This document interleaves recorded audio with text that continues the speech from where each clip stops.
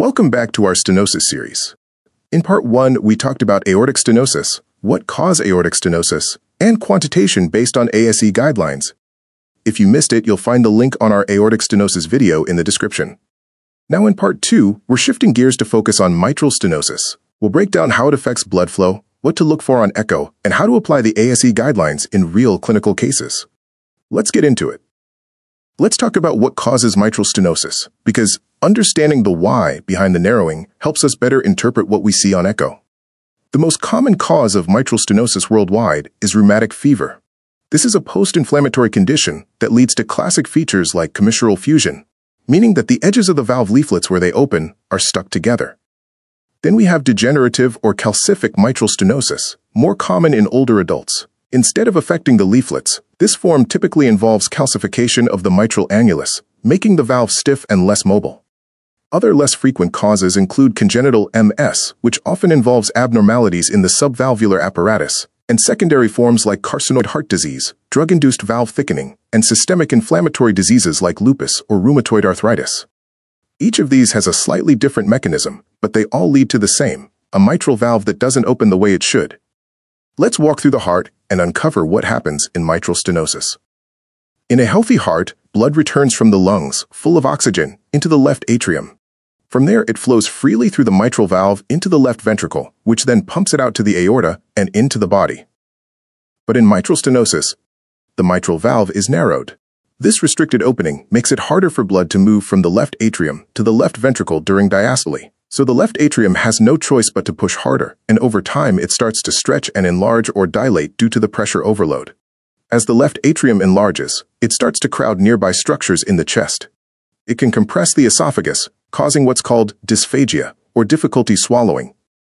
It can press on the left recurrent laryngeal nerve that loops around near the heart, causing hoarseness of voice, also known as dysphonia. It may even push against the bronchi, leading to a chronic cough. This enlargement disrupts the heart's electrical signals causing the atrium to quiver. This is atrial fibrillation, a chaotic rhythm that causes the atrium to stop contracting effectively. Because it's no longer contracting effectively, blood pools. This is a condition called blood stasis. Blood typically pools in the left atrium. From here, the clot or thrombus can travel. If it dislodges, it becomes an embolus. It can shoot into the brain and cause an embolic stroke. This is when it becomes a life-threatening complication. As the blood struggles to pass through the narrowed mitral valve, pressure backs up into the pulmonary veins, then back to the lungs.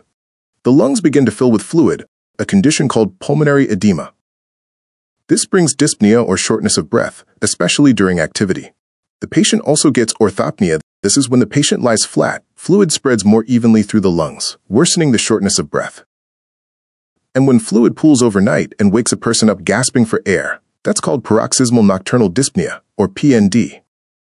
As the pressure in the lungs continues to rise, we reach pulmonary hypertension, a condition where the arteries in the lungs become narrowed and stiff. This adds strain to the right side of the heart, which now has to work harder to push blood from the atrium to the tricuspid valve, through the pulmonic artery, and into the lungs. Over time, the right heart begins to fail, leading to right-sided heart failure. And when we get right-side heart failure, the blood backs up to the superior vena cava back to the jugular veins, causing jugular vein distension. The blood also backs up to the inferior vena cava, causing hepatic congestion, ascites, and further down causing ankle or lower limb edema. Meanwhile, less blood is making it through to the left ventricle, and ultimately, less oxygen-rich blood is reaching the body. This leads to fatigue, cold extremities, and exercise intolerance. When the demand for oxygen rises like during a workout or even walking upstairs, the heart can't keep up. That's when SAD kicks in, syncope or fainting due to lack of blood to the brain, angina or chest pain from inadequate oxygen to the heart muscle, dyspnea, which again is breathlessness, from both lung congestion and low cardiac output. Mitral stenosis begins with a narrowed valve, but its ripple effects are widespread. Pressure builds behind the valve, causing the left atrium to dilate. That enlargement causes compression symptoms, electrical disturbance, blood clots, and the risk of stroke. Pulmonary congestion follows as the blood from the left atrium backs up to the pulmonic veins and back to the lungs, leading to pulmonary edema, shortness of breath, orthopnea, PND, and pulmonary hypertension causing the right side of the heart to work harder and over time leading to right side heart failure. And through it all, because of the lack of blood going to the left ventricle to the systemic circulation, The body suffers from low cardiac output, low oxygen delivery, triggering the classic SAD triad. The clinical presentation of mitral stenosis often begins subtly, then gradually progresses. One of the earliest and most common symptoms is progressive dyspnea, that is, increasing shortness of breath, especially with exertion. This occurs due to elevated pressures in the pulmonary circulation as blood backs up into the lungs from the obstructed mitral valve.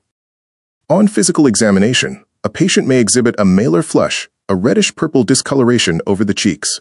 This is thought to be due to vasodilation and chronic hypoperfusion, a hallmark of long-standing mitral stenosis with low cardiac output. Auscultation of the heart reveals hallmark findings. At the apex of the heart, which is located at the left fifth intercostal space, along the midclavicular line, a mid-diastolic murmur can be heard. It is preceded by an opening snap, occurring just after the second heart sound, S2.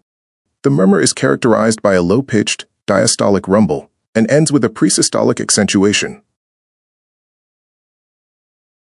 When it comes to diagnosing valvular stenosis, not all imaging tools are created equal. That's why the American Society of Echocardiography, or ASE, has laid out clear, evidence-based guidelines to help us assess valve disease accurately and consistently. These methods are divided into three recommendation levels, based on strength of evidence and expert consensus. Let's break them down. Level 1 recommendations are your gold standard. These are the methods that are not only appropriate but strongly recommended for all patients with valve stenosis. They're your go-to, first-line tools reliable, proven, and central to routine clinical evaluation. They include 1. Mitral valve area by planimetry, wherein you directly trace the valve opening from the parasternal short axis window, MV level.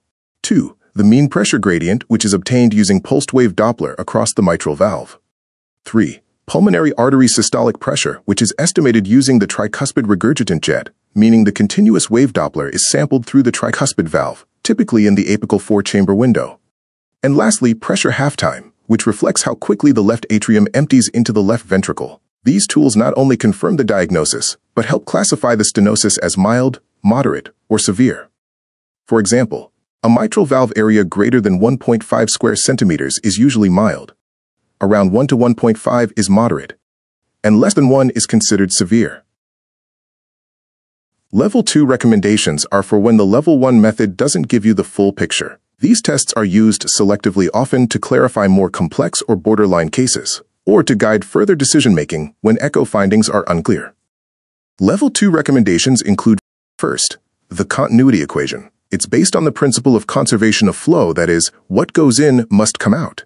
By comparing stroke volumes at the mitral valve and LVOT, we can calculate the mitral valve area, or MVA, especially useful when planimetry is unclear or technically limited. Next is the PISA method, short for proximal isovelocity surface area. This technique estimates mitral valve area by analyzing flow convergence on the atrial side of the valve. It's helpful in moderate to severe cases, though it requires good color Doppler images and experience in proper setup. And finally, stress echocardiography, which can be performed using either exercise or pharmacologic agents like dobutamine. This test evaluates how the valve behaves under stress. It's especially valuable in patients with exertional symptoms but normal resting gradients. Level 3 recommendations are not advised for routine clinical use. However, they may still play a role in research settings or rare clinical situations, especially when other imaging methods aren't available or are inconclusive. For example, Cardiac catheterization is a level 3 recommendation for assessing valve stenosis. It's not recommended as part of the routine workup unless transthoracic echocardiography, or TTE, is inconclusive or technically limited. Let's dive deeper into the level 1 recommendations. The mitral valve area by planimetry is one of the most reliable methods, but also one of the most technically challenging to perform. It requires a good quality image, proper timing, and precise alignment because you want to be at the leaflet tips. You'll want to be in the parasternal short axis view at the mitral valve level. Tilt your tail inferiorly to get the narrowest opening of the MV that gives you that classic fish mouth appearance of the orifice. Scroll through your clip carefully and freeze it in mid-diastole when the valve is fully open.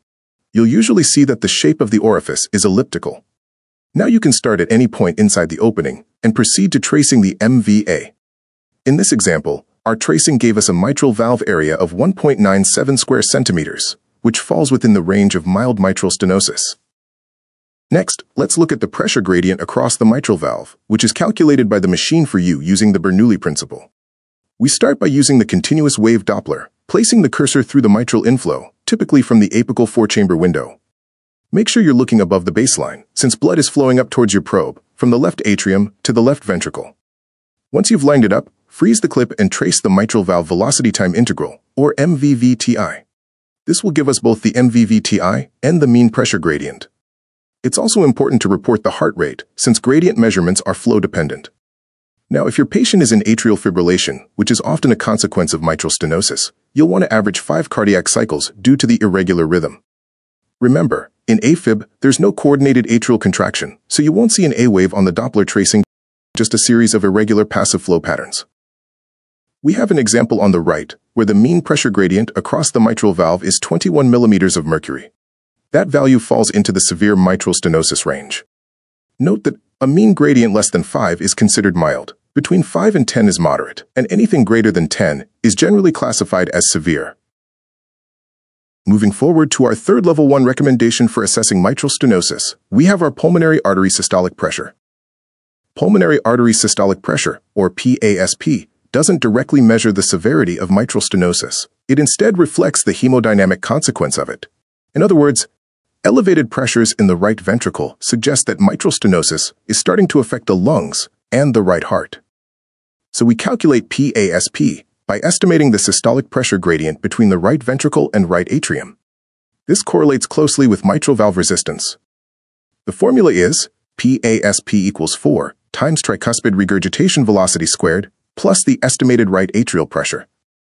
We estimate RAP by evaluating the inferior vena cava, or IVC, using a subcostal window. Specifically, we look at two things, the diameter of the IVC and how much it collapses with inspiration, also called the sniff test. The IVC reflects central venous pressure because it drains directly into the right atrium. If the IVC is small and collapses completely, the right atrial pressure is likely low. If it's dilated and doesn't collapse much, the pressure is elevated. The ASE provides a reference table to estimate RAP. For example, an IVC diameter less than 2.1 centimeters that collapses more than 50% with a sniff suggests a normal RAP of around 3 millimeters of mercury. Intermediate findings fall somewhere in the middle, around 8 millimeters of mercury. If the IVC diameter is less than 2.1 centimeters and collapses less than 50%, or if the IVC is dilated and collapses more than 50%. If the IVC is dilated to greater than 2.1 centimeters and collapses less than 50%, RAP is estimated to be high at 15. Let's break this all down to four steps with actual examples. Step 1. Start by getting a good apical four-chamber view and place your continuous wave Doppler through the tricuspid valve. Now align your Doppler beam with the TR jet, look below the baseline, and trace the peak velocity. This value represents the pressure gradient between the right ventricle and right atrium, which you'll use to calculate PASP in the next step. So why are we measuring tricuspid regurgitation when we're talking about mitral stenosis?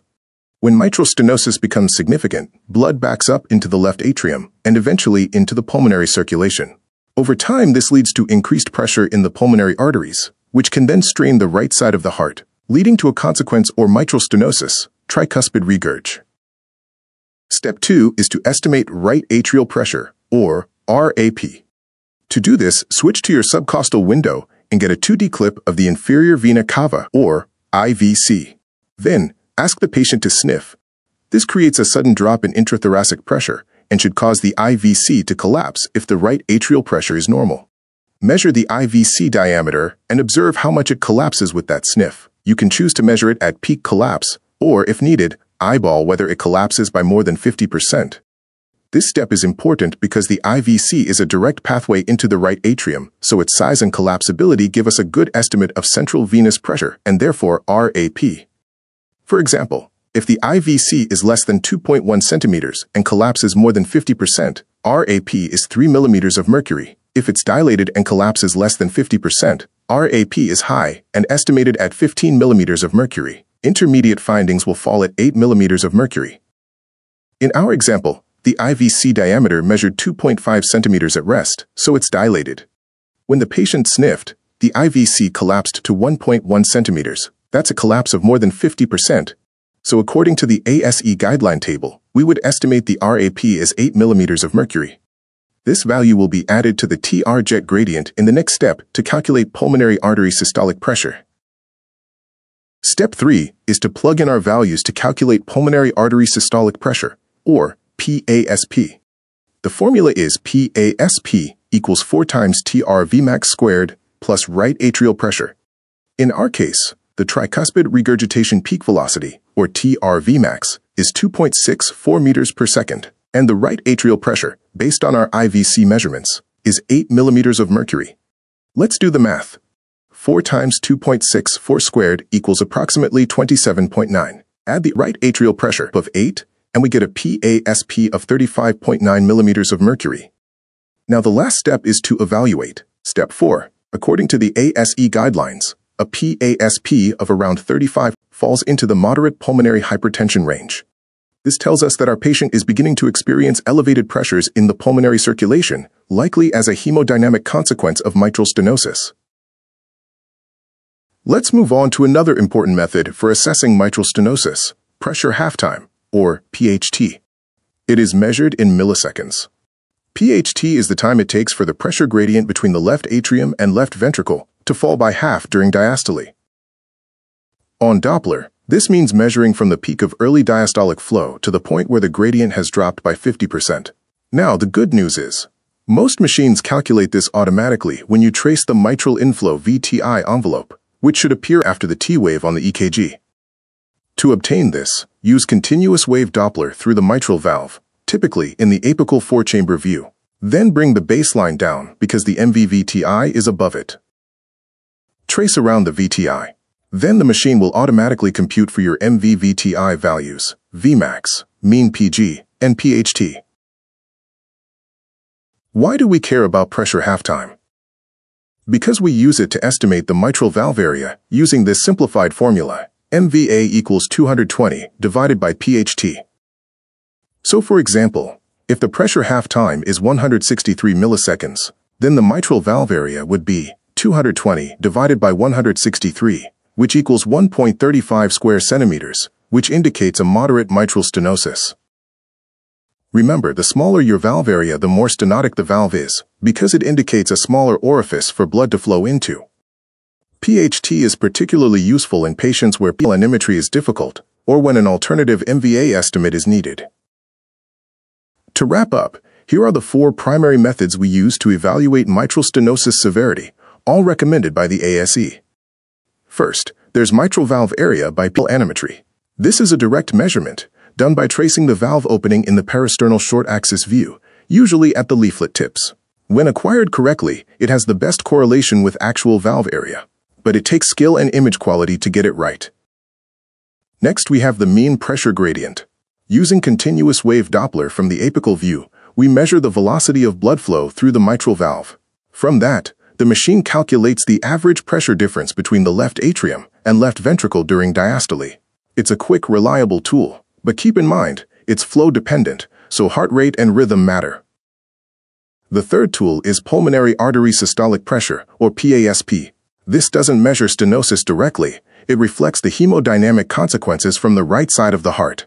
We estimate it using the tricuspid regurgitation jet and IVC collapsibility to calculate how much pressure is backing up into the lungs because of the narrowed mitral valve. And finally, there's pressure half-time.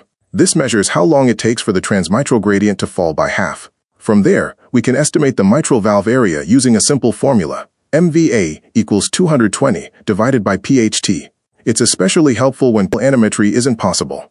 Together, these four methods give us a more complete picture combining structure, flow, and functional impact. That's why a comprehensive approach is key in every mitral stenosis evaluation.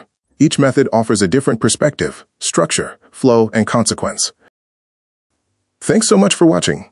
I hope this helped you understand mitral stenosis a little more clearly and gave you the confidence to apply these concepts in both class and clinical settings. If you found this helpful, don't forget to like, subscribe, and share it with your fellow ECHO classmates. And if you have questions, cases, or topics you'd like to see covered, drop them in the comments below. I'd love to hear from you. Until next time, keep scanning, keep learning, and I'll see you in the next video.